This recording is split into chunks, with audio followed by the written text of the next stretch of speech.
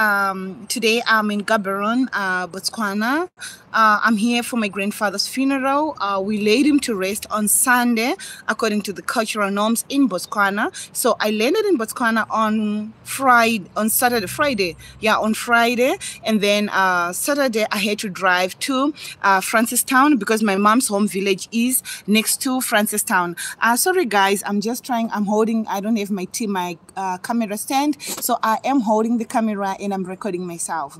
So what happens is um when uh, when someone dies in Botswana, they follow cultural norms. There are so many cultural cultures in Botswana, and uh, my mom is originally from Botswana, and my father, like I always tell you, my father is from Zimbabwe. So I'm a mixture of half Zimbabwean and half Botswanan, half Botswana. Okay, so um, I arrived in Botswana via from South Africa via um, uh, Khama International Airport. It's a very beautiful uh, airport in Botswana. It's called Sir Seretse Khama International Airport airport. I landed very well and it was very nice. When you land in Botswana, the government of Botswana is taking strict measures uh, for COVID. Like right now, my mask is in front of me, but because I'm recording outdoors and there is no other guest of the hotel I'm staying that is here, so that's why I can do this live without a mask. But the government is very strict in terms of um, COVID measurements and COVID preventative measurements. So yes, just to let you know. So when I land in Botswana, um, uh, Sir Seretse Khama International Airport.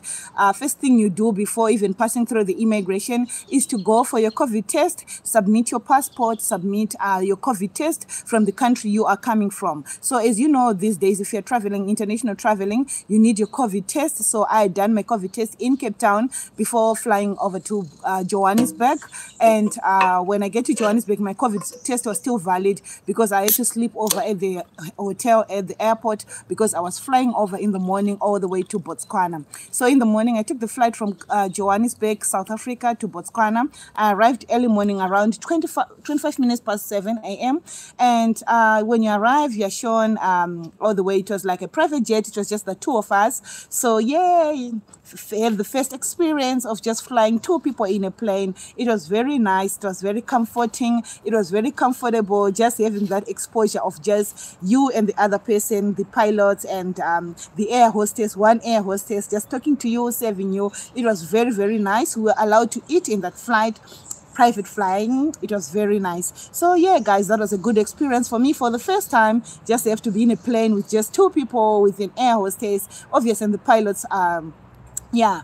So yes when we arrived it was just the two of us. There was no congestion at the airport. Uh, it's a very nice big quiet uh, and you know you, the moment you get into the mother city my mother i call it my motherland it's calm it's calm it's peaceful it's relaxing. Ah that's all about botswana. Like as you can see my background i'm just sitting in a um, like a bus tour outdoors uh, the hotel that i'm staying. So it's very peaceful it's very uh, calm um, yeah sorry i do not have makeup on so yeah it was very nice. And then uh, we had to go we directed to do our covid uh, for checking like our checkpoint uh, at the at the at the airport. We got there they did uh the we, they asked for your passport they asked for your covid test from the country you are coming from. Obvious they will see in your passport if you're a resident. Like me i was coming from south africa so they want to know if you're a resident in south africa or if you're coming from another country. And they could see i'm a resident in south africa but i'm originally from zimbabwe. And um yeah I was in um, uh, Gaborone, they asked you why you're in Botswana. I told them I'm here for my Tate Mogolo's funeral, and they were just laughing like, really, you really look like a Botswana child. You are our child. They were very welcoming to me. They were very, like, really, really comforting to me. And because I also understand the language, uh, the Tswana language, uh, and the Kalanga as well, so it was much easier for me, guys but they will still communicate if you visit Botswana. They will communicate with you in English. And the other gentleman that I flew with in the private jet was also uh, from the local uh, local person traveling from South Africa. So it was just the two of us. It was very nice. And then uh, after taking my stuff, they gave me you're giving like uh, the testing kit for your COVID, uh, and then you go to the next room where you do your COVID test. The nose guys, you know how it is. Those that have been traveling uh, international, you know how it is the COVID test. And then yeah I'm scared of the COVID test, guys. It's not comfortable. It's not sore. It's not painful, but it's just not comfortable. It's one of those things that, given an opportunity, you do your best to avoid. But anyway, girl got to do what girl got to do. So I got to the uh, testing room. The nurse was very nice, comforting, and I was very comfortable. And then she did the COVID test in my nose And then she told me to wait outside for the uh, results to come. And then the nice chairs, nice lounge for you to sit down. And yeah, I had to sit down. Um, uh, remember, I didn't have a SIM card to communicate with my family that I've landed, but I'd organized everything because I was going to hire a car in Gaborone. So, yeah, I sat outside waiting for my results, wait for some minutes, some time, and then they call you. The results are out. Uh, you are COVID negative. If you're COVID positive, I don't know what they will do, whether they will return you back or what. I'm not so sure. But for me, I was COVID negative, so I had to proceed. They direct you to uh, immigration. So I took down the stairs because where we do the uh, COVID test is upstairs. Then I went down, uh, went to immigration, got to immigration. Uh, it was quite nice. Um, it was quite nice. Um, and then um, went to immigration. It was two in the morning. Uh, they checked my passport. Obviously, they check where you're coming from. They ask you what are you here for again. I explained to them. They welcomed me to the country, stamped my passport, gave me back my passport and my COVID test. So with Botswana, the moment you do a COVID uh, test, they will give you a COVID um, kind of a card uh, let me see if I've got it here or I'll show you on another video. They'll give you a COVID card which says that you have arrived uh, with which border or which airport and then you get your COVID test. Ah, here I've got my COVID test. So I'm gonna show you my COVID uh, card which I got when I landed. So yeah guys this is my COVID card. Um, you can see my details here. This is the COVID card I got. Um, with the details uh, yeah so this is Botswana. They are well organized in terms of COVID awareness. They are well organized in, COVID, in terms of COVID uh, measurements and um, preventative measurements. So yeah, then I entered the country. I was co collected my bags, and here I was. Welcome to Botswana. I'm in Botswana. Had my breakfast at the airport because when I left, still we got food in the plane, but still I really wanted like a real, real Botswana breakfast, okay? But anyway, then I had to go do my uh, car collection at Hertz, Botswana. They were very nice, they were very friendly, but don't expect to get the fancy, fancy cars. Uh, they had nice cars, but all their cars that they had like were like yeah not the latest models but yeah i think you had an option. There are so many car rentals that are there at the airport. You can either book in advance. We had booked in advance my the car that i was going to use but we had to pay and submit our driver's license. They need your driver's license like um yeah they check is it international? Like can you can you drive in botswana? Do you um like some countries have, have got driver's license that are strictly specific for that country, and then some driver's license like mine, I can drive anywhere in the world. So yeah, you need to be aware of that as well before you travel or before you think of hiring a car. What type of a driver's license you have, and then yeah, they you do the process with the car rental people, then they go check the car that you want, uh, inspect it, you know, the whole thing about hiring a car, do the inspections, see everything, the meter reading and everything before they give you the cars. And uh, if you booked a navigator, and the other thing, when you arrive in Botswana with these COVID measurements, there is another thing that they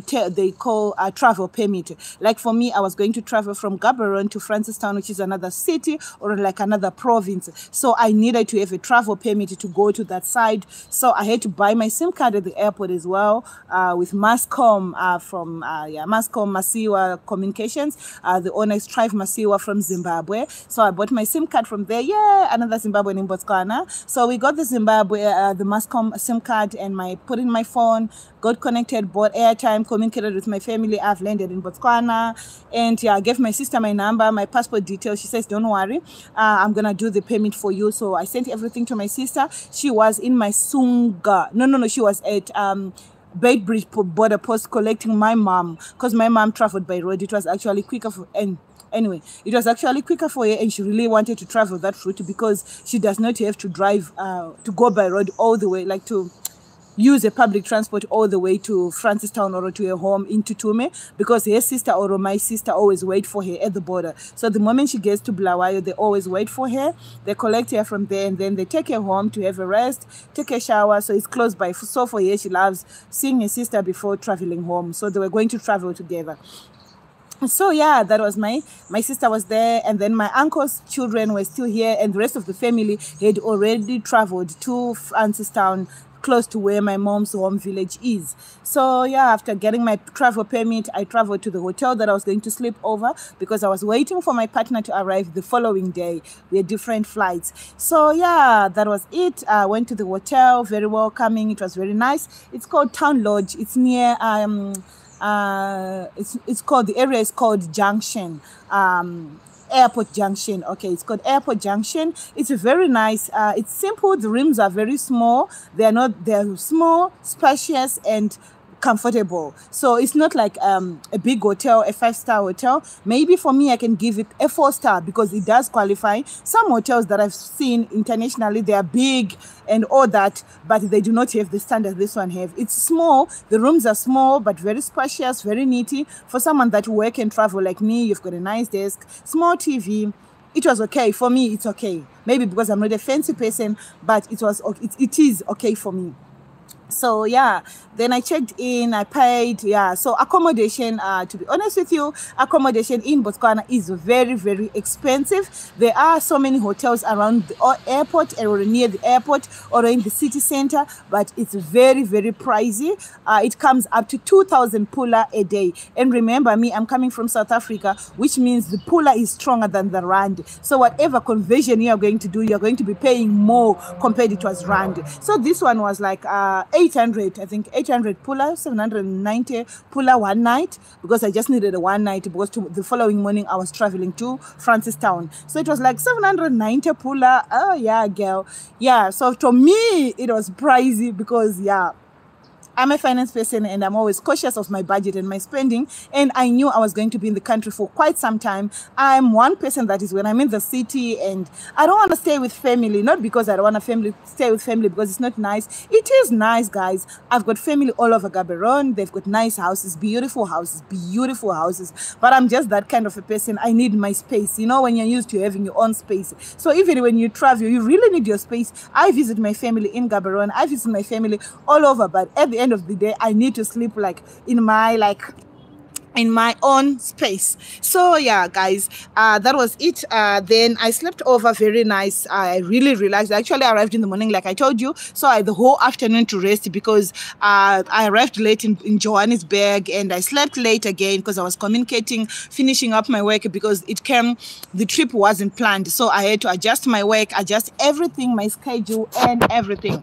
So yeah really really um I had a lot of pressure from my side, a lot of pressure with kids, sorting my babies back home in Cape Town and everything else. So it was quite a challenge. But I thank God um, I'm here today and I'm talking about it. I'm doing a live. I really would have loved to do a live, you know, as me as usual. I really would have loved to do a live before leaving. I would have loved to do a live before traveling, I would have loved to do a live at OR Tambo. I would have loved to do a live at uh, International Airport. But because it was a bit of a challenge. Uh, it was hectic traveling. So yes, guys, uh, Saturday morning, I had to fetch my partner from the airport. Arrived around 10 a.m. Uh, just have to check if he was happy and comfortable with the car, and I had to register him as the second driver as well of the car because just in case I wasn't so sure and confident if I was able to drive to and back and following the protocol that the person that is registered on a car is the only person that can drive. So you pay an extra amount, like 500 pula, to aid him as the additional driver and for insurance purposes. So the car had two drivers, me and him, and because he had traveled also also for somewhere from far away, far away. I can't explain exactly, like disclose the details. I had to be like drive him because I understand he was very tired because he did like two international, like three international flights before reaching Botswana. So I really felt for him. He was very tired. But anyway, I appreciated it. Accompanied me. I was so grateful, always grateful, and forever grateful for him to come and be with me in a difficult time with my family and everything, guys. So yeah, thank you, babe, for being with me. Yeah, shout out to him, guys. So yeah, that was the trip, and uh, that was what was happening. Uh, and then we had to drive, so we just stopped. We, uh, it was like, can we eat? It was like, no, I had breakfast. It's like, okay, can we drive? It's like, yeah, let's go.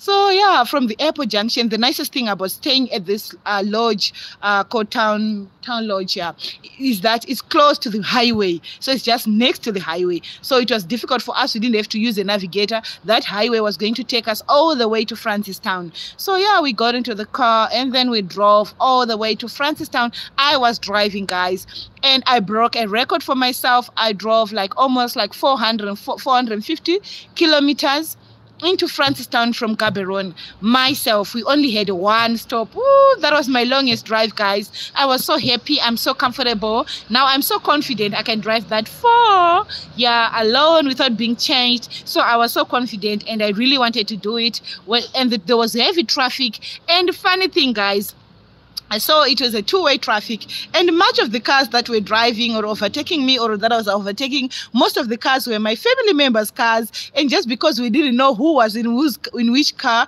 we didn't know it was like us. So only when the cars were parked warm that's when we realized, ah, some of these cars overtook us on the way. That was on Sunday at my grandfather's funeral. So yeah, I was driving with my family all the way to Francistown. And then we got to Francistown because I wasn't so sure until it was very late. Around 6 p.m., we left uh, Around 1 p.m. Around 6 p.m., then we had to do um, stop over in Francistown, call my sister. She was always, and the family was checking on us. Where are you? Uh, don't you need someone to, to fetch you? So yeah, my sister was waiting for us in Francistown. And then, uh, yeah, we, we she had to lead us. And then we drive all the way to Tutume.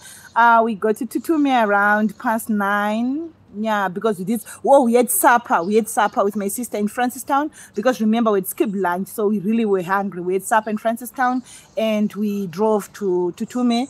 And um, when we go to Tutume, that's when we we we were to go and pass our condolences to the family, uh, the ones that were still awake, and yeah, we're so tired, and you know they're following COVID protocols, so we had to check into where to another lodge there that we had booked. Uh, so we got there, uh, we checked in. Um, yeah, it was a very nice, simple lodge. There are so many nice lodges. So Tutume is like a village, but it's not a real village. So all the villages in Botswana, they're not. They are villages, but they are not like uh, traditional villages where there's no electricity, there is no tapped water.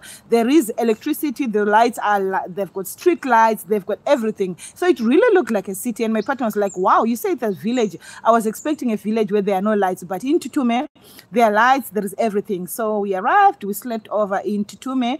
And then because of my mom's cultural, um, my mom's culture, uh, body viewing is done at 5 a.m. So we woke up at 4 a.m., bath and everything. 5 a.m. we were home to do the funeral service for my grandfather. Body viewing, we did, we did it at 5 a.m. That's the culture there. And we have to bury him early in the morning. So, you know, the whole funeral procession was done from 5 a.m. body viewing up to around, I think, half past six early in the morning and it was freezing cold and I did not carry it because the boots that I carried were like brown boots and I was wearing black. So I ended up dressed up in black, black and white, and brown boots because it was very, very cold. I I thought Botswana is a desert in the morning. I forgot in the morning it, the temperatures drop. It was very cold in the morning, but in the evening uh, it's also very cold. But during the day it's very, very hot, like desert hot. So yeah, guys, that was it. Uh, we did the funeral procession of my grandfather. It was very sad. It was very emotional uh, we had to cross Limpo, um, Tutume River. Uh, it's a big river, but like I always say, Botswana is a desert. It flooded like three months ago. My family was telling me the river is full, and I saw the pictures. But now I just arrived. The river is like a desert. It's a dry, dry, dry, dry. But there were there was a cyclone this year which damaged a lot of damaged a lot of bridges. Uh, so yeah, guys, that was it. We went to bury my grandfather over the river. We crossed over the river. We buried my grandfather. We did the traditional ceremony of burying uh, an old person Unfortunately, I couldn't do a live, I couldn't record anything because phones are not allowed at funerals. Even a tone, even a ringing, even a beeping is not allowed, even pictures. So I could not take pictures uh, during the funeral procession or at the gravesite or anywhere. So the funeral was done. So yeah, this tradition, and because we are Christians, we prayed, but it's still traditional culture has to be done. Like there are some elderly women things that elderly women have to do. I was seeing it also for the first time because yeah, I missed like some of the funerals I would go after, so I did not say. So to this time was also an opportunity for me to learn my mother's culture, deep of it, and seeing everything live. But unfortunately, I couldn't record it for my siblings or anyone else because of the culture, and I respect my mom's culture. So we were done burying my mom. By the time the sun was coming out, we were already done. Yeah, that's how it's done in Botswana.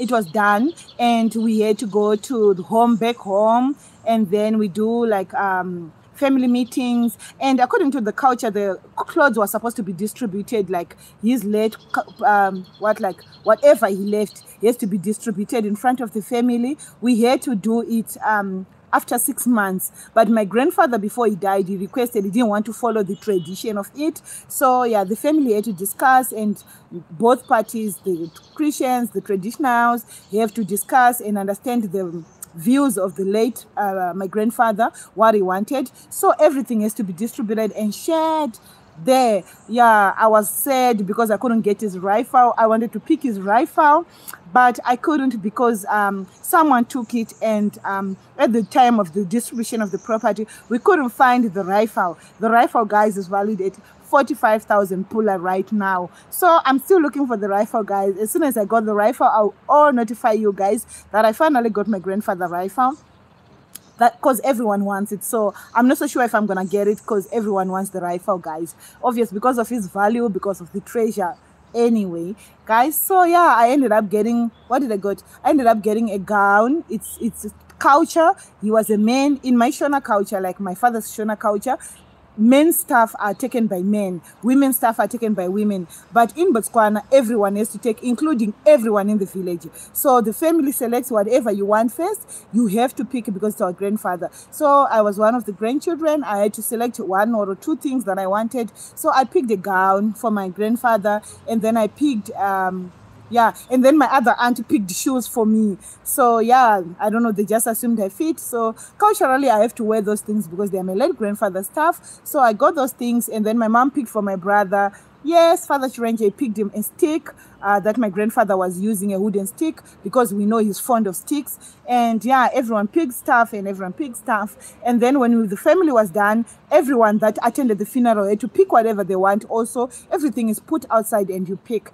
After that, you are served with snacks. Um, like uh, when you arrive at the funeral at our family gate, you had to do temperature check in and you had to wash your hands, sanitize, temperature check recorded as the data is needed and they were monitoring the number of people and social distancing and everything. So all the snakes were pre-pegged, wrapped around, but they washed everyone's hands. Sanitizers were all over. Everything was done. The protocols were followed, guys. We got snakes. It said that you wanted to eat there or you wanted to go. And then if you wanted coffee, tea, or whatever, because it was still early morning, me and my partner and uh, my family members, some of them, we had coffee, tea, and stuff. And then, uh, yeah, then we had to do our family meetings according to tradition everyone has to be there. We have to do introductions because our family is so big and it hasn't been long. People have gathered. So we had to do introductions and everything and meet and talk, which we did. And then after that was done, and then we had to have lunch, a traditional lunch, which was a pap and uh, Botswana beef, the way they make it.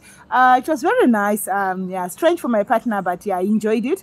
Um, I enjoyed it. Uh, I'm used to the food anyway. I enjoyed it. I loved it. I was actually looking for pounded beef because they're very famous. They make nice pounded beef, guys. But yeah, I couldn't have the pounded beef. So uh, forgive me, I'm just going to take a walk now. So yeah, that was it. Um, and then we we after having lunch uh, then it was time for me to visit the homes my family homes we've got like so many homes like the whole yard for us. So yeah. Okay i want to show you this background. So yeah then after having the lunch we ate everything. It was very nice guys. It was really really cool. It was really really nice. I enjoyed it. I loved it. Um, meeting my family members seeing my siblings. So it's like in my family uh, among my mother's brothers and sisters each one, whether they're like my mom is based in Zimbabwe, or my siblings have got a twin like you, have got someone that looks like you in Botswana. So I meet my twin people, someone that look exactly the way I look, guys, exactly from the eyes, from the teeth, the way I smile,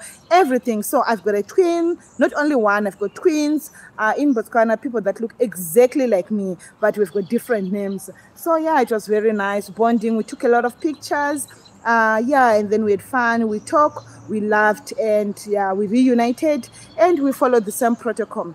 But now, guys, uh, like now, um, uh, then I had to visit my families around again and friends as well in Botswana. Went to Masunga, went to Domboshaba. There's a place called Domboshaba in Masunga. Went there, uh, met my family again in Francistown. Some that couldn't attend the funeral, we had to meet again in uh, Francistown in town. We met, we ate, uh, we laughed, uh, we chatted. But because we still had another funeral in the family, because my mom lost a sister as well, soon after I landed in Botswana, the funeral arrangement is still ongoing. Um, I still don't know when she's going to be buried. Maybe I will be able again to drive back to Tutume for her burial. But if not, because I still have got some days in Botswana. If not, guys, I'll keep you updating you. Like now, I'm back in Gaborone. We drove back from Francistown to Gaborone. So I'm Gaborone now, I'm still meeting my family and doing my work. I do have meetings lined up for me in Botswana. So I'm doing that right now. I just adjusted my work schedule. So I'm doing what I need to do in Botswana and Gaborone. So I'm working um, in my motherland and um, having fun. I'll keep updating you guys. I'll keep recording this and um, let you know what's happening. So this is 25 minutes, 8 seconds. Uh, I wanted to do 30 minutes, but guys, it's very tough for me because I'm recording myself and I'm talking at the same time. So guys, yeah, this is it. This is where I am. Um, yeah it's very nice it's very beautiful. I'm going to be taking different scenes of where i will be as i will be driving. I did some recordings of the highways on my way to and from uh, botswana so i do have a lot of editing to do and a lot of videos. But for now guys it's ciao. My hand is tired from holding the phone and recording at the same time. I love you guys. Hope you are keeping well. Pick if those that are new to my channel please subscribe and follow me. I love you guys. God bless. I'm out so yeah. Okay. Thank you.